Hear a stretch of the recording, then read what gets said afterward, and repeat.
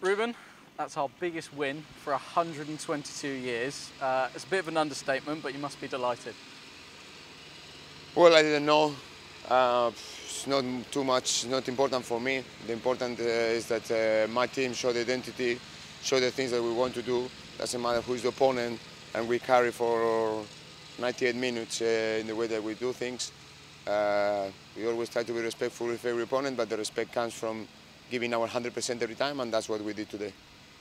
A lot of changes tonight. That must speak volumes for the amount of youngsters that are ready and willing to set, step up at this level.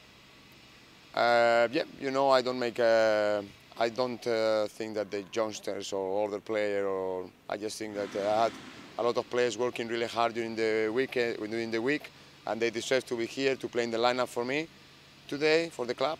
And uh, yeah, it's uh, it's about them and how much how, how hard they work really, and it's a pleasure to see them performing like today.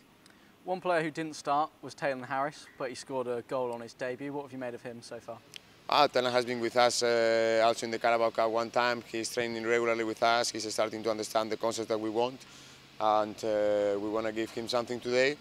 It was the, the proper moment to bring him in, and then he showed a little bit of the quality that he has. So now it's uh, for him to carry on, work hard, and uh, try to make more appearances for us. Paul got two as well. He's a player you know very well. You must be quite proud of him yeah, for Paul it's important to start to get feelings back after uh, some months uh, without uh, a lot of competition. It was uh, good uh, for him to start today in the piece that he got injured some weeks ago also. He showed personality, character, he got uh, his goals.